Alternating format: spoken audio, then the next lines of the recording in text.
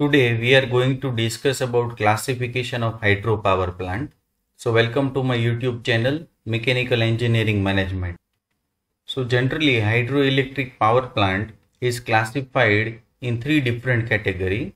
First according to availability of head, according to quantity of water available and according to nature of load. So let's see first one. It is further classified in three different category low head medium head and high head. For low head the available head is less than 20 meter. For medium head it is 20 meter to 300 meter. And for high head it is greater than 300 meter. Now according to the quantity of water available it is further classified as runoff river plant without pondage runoff river plant with pondage storage type pump storage type, mini and micro hydropower plant. According to nature of load, it is classified in two different category, base load plant and peak load plant. So now let's see one by one all these type of the hydropower plant briefly. So let's start from the first availability of head.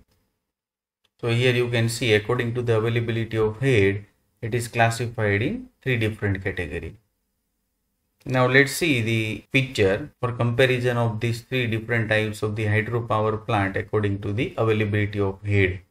So here you can see this is the head race level and this is the tail race level and the difference between these two level is called as the head and this is the less than 20 meter for the low head power plant.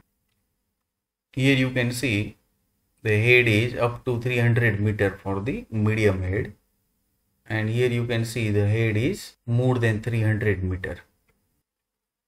First of all, the amount of power and therefore energy that you can generate is proportional to the head and the flow or you can say discharge. So now let's see the first one, low head power plant. That means up to 20 meter. So here you can see this is the head race level and this is the tail race level and the difference between these two level is 2.5 meter that is less than 20 meter and that's why it is called as the low head power plant. So head is the change in water levels between the hydro intake and the hydro discharge point. It is a vertical height measured in meter. Here you can see. Francis, Kaplan or propeller turbines are used for this type of hydroelectric power plant. Conventional turbines operating in this range are not cost effective. High efficiency Kaplan turbines requires high flow volume at low head differences. As a result, these turbines have large diameter and require considerable civil works. These applications do not need to dam or retain water to create hydraulic head that you can see over here the head is only a few meters. So dam is not required to construct. Now next one, medium head plant. So here you can see the figure of the medium head power plant. The head is 30 meter to 300 meter. Uses Francis turbine or modern Francis turbine. Power capacity is 25 megawatt to 100 megawatt in medium head power plant forebay provided at the beginning of the penstock here you can see. As reservoir. Water is carried in open canal. Here you can see. From main reservoir to forebay then to powerhouse through this penstock next high head power plant. So for the high head power plant the head is more than 300 meter. Pelton wheel turbine is used. So here you can see this is the powerhouse and if you zoom it then you can see inside the powerhouse there is a Pelton wheel. Next power capacity is more than 100 megawatt. A dam is constructed such level that maximum water level is formed. Here you can see the dam is constructed and so that maximum water level is formed. A pressure tunnel is constructed that you can see over here which is connected to this valve house. Water is coming from reservoir to this valve house via this pressure tunnel. And then through the penstock, it will go to the powerhouse. Now next, according to the quantity of water available, first one is the runoff river plant without pondage.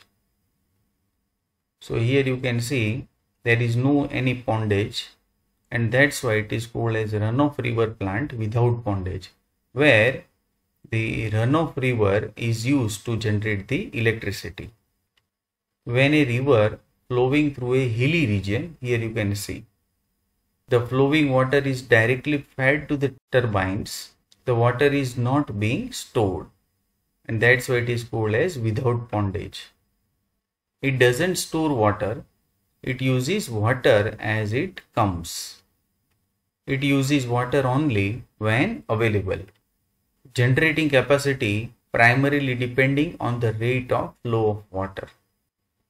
Second one, runoff river plant with pondage and here you can see in this figure this is the pondage so a little bit construction that is carried out and so that the water is stored in the pondage and that's why it is called as the runoff river plant with pondage.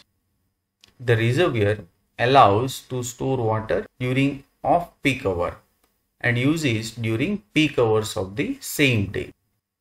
Most runoff river plants will have a dam across the full width of the river in order to utilize all the river's water for electricity generation. Such installations will have a small reservoir behind the dam, here you can see, but since flooding is minimal, they can be considered as runoff river. Usefulness of a runoff river plant is increased by pondage. And that's why it is more useful than a plant without pondage. Next, storage type. So here you can see the big dam is constructed across the river and here you can see the huge dimension of this dam if you compare with this vehicle.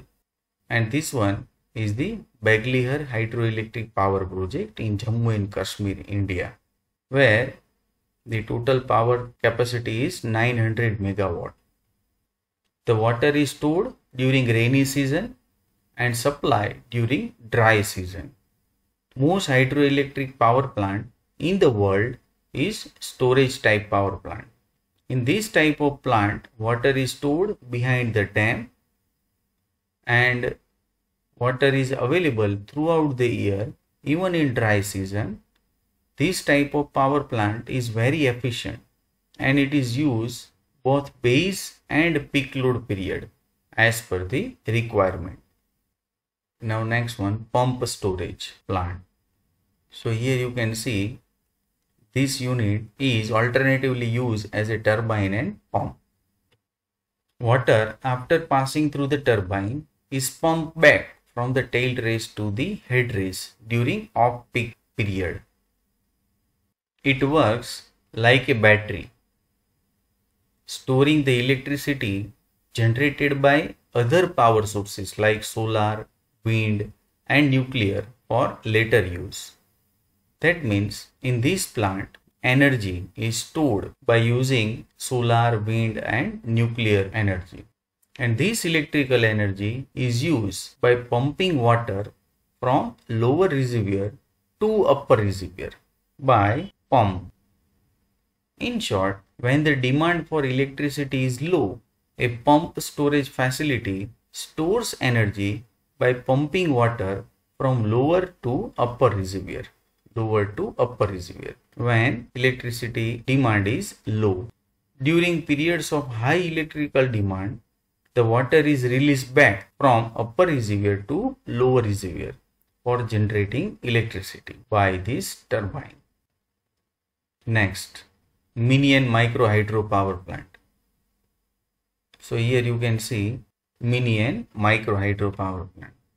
In mini plant, head is up to 20 meter whereas in micro plant head is up to 5 meter.